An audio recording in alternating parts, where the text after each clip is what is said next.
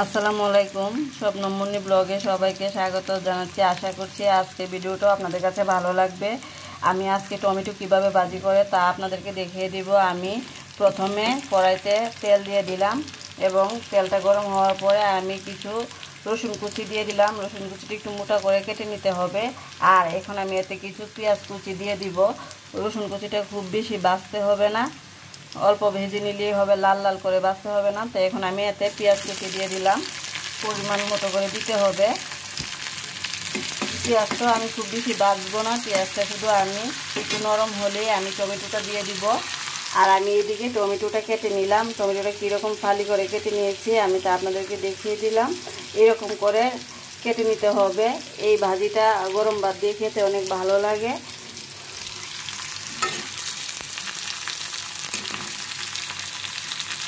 আমি এখানে তিন চারটা পেঁয়াজ টমেটো নিয়েছি। তিন চারটা টমেটোর জন্য যতটুকু প্রয়োজন, রসুন আর পেঁয়াজ আমি ততটুকু পরিমাণে নিয়েছি। আপনারা যতটুকু টমেটো নেবেন সেই অনুযায়ী আপনারা পেঁয়াজ আর রসুনটা কেটে নেবেন।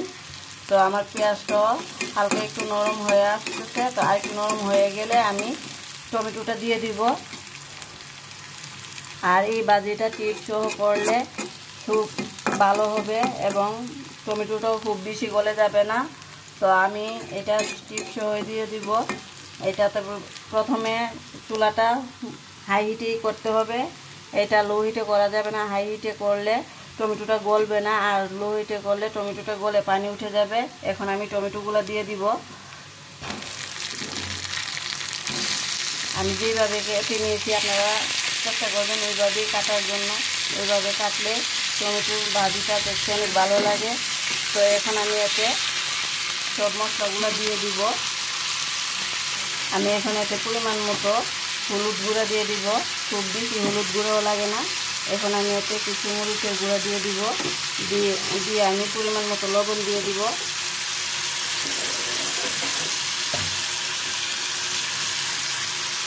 আমি পরিমাণ মতো লবণ দিয়ে দিলাম।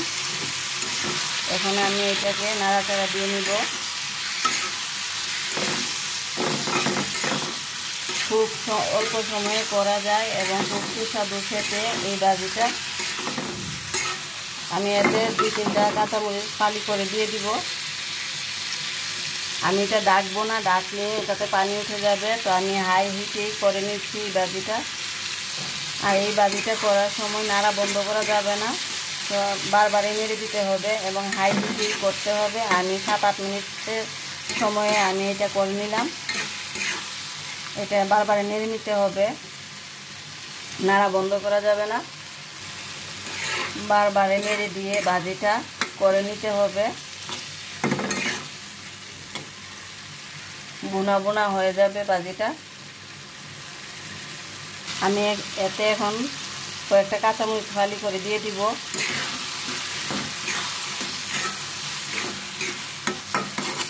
দিয়ে আমি এটা নেড়ে মিশিয়ে নিব। খুব অল্প সময়ে এই বাজিটা করা যায়, আর এই বাজিটা গরম ভাত দিয়ে খেতে তো ভীষণ ভালো লাগে। আপনারাও করার চেষ্টা করবেন এইভাবে বাজিটা গরম ভাত দিয়ে খেতে। আমার বাজিটাও হয়ে গেছে, এখন আমি এতে ধনে পাতা বেশি করে দিয়ে নামিয়ে নিব।